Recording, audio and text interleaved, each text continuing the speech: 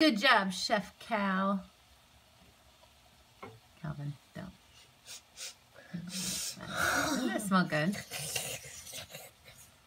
Only if you can smell it. I sure can. Hey, finish up. Okay. I can't wait to eat those things. Calvin is our master egg cooker in the family. Better I'm just the sous else. chef. Yes, because no one can be as good as me. Not. You and Grandma.